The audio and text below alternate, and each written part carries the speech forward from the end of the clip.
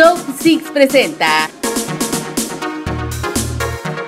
Hacker de Sergio Ramírez sube conversación falsa. Luisito Comunica publicó un video en donde confirmó que la cuenta de Sergio Ramírez, la cual supera un millón de suscriptores, fue hackeada y ahora se encuentra en poder de un joven uruguayo llamado Emanuel. La historia de la búsqueda de Luisito Comunica para encontrar a Sergio Ramírez tuvo un giro radical. La historia comenzó cuando el hombre de 60 años dejó un comentario diciendo que nunca había viajado, salido del país ni conocido el mar. Ante esto, el rey Palomo decidió regalarle un viaje, pero las cosas se salieron de control, ya que al ser un hombre mayor no entendía bien cómo funciona YouTube. En uno de los comentarios dijo ser un analfabeta informático. La confusión sobre este misterioso hombre aumentó cuando numerosas personas se hicieron pasar por él. Se supo que Sergio Ramírez era originario de Cuernavaca, México, y un leal seguidor del doctor Carlos Federico, quien mediante su canal publicó un video diciéndole a Luisito Comunica que ya tiene el número de teléfono del señor de 60 años, Sergio Ramírez. Las cosas se complicaron debido a que Luisito Comunica se encuentra en Dubai y afirmó que no han entrado las llamadas para contactar a Sergio Ramírez. Al mismo tiempo, algo extraño ocurrió con el canal de más de un millón de suscriptores. Una persona se hizo pasar por Sergio Ramírez y afirmó que deberían seguir a su sobrino Emanuel Ribeiro en Instagram para que revelara su identidad y aseguró que no sabe cómo subir videos a YouTube. Poco después, la cuenta de Sergio Ramírez publicó su primer video, el cual tiene una duración de unos cuantos segundos y solo aparecían palabras en un fondo negro, en donde Manuel Ribeiro, la persona que tomó el control del canal, aseguró que todo fue por una buena causa y que no hackeó el canal para hacer algo malo, ya que supuestamente solo quería ayudar. Además, dejó un link a su canal con el mismo video monetizado. Poco después Emanuel Ribeiro subió un video en la cuenta de Sergio Ramírez en donde habla ante la cámara e insistió que no hackeó a Sergio Ramírez y que lo contactó después de que el hombre de 60 años publicó su número de teléfono en un comentario en YouTube, sin saber los riesgos que eso traería. El joven uruguayo publicó la captura de pantalla de la conversación de WhatsApp que supuestamente tuvo con Sergio Ramírez, en donde señala que le autorizó subir un video y le dio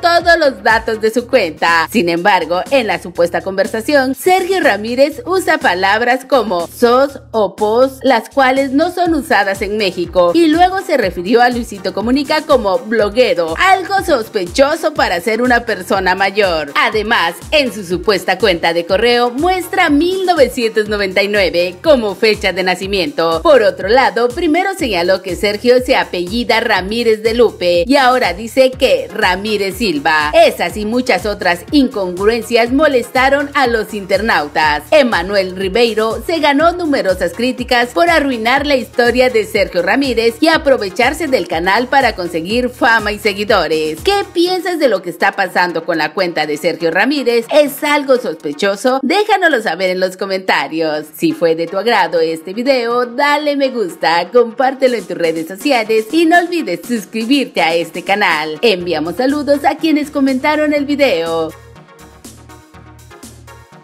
Soy Carla, hasta la próxima.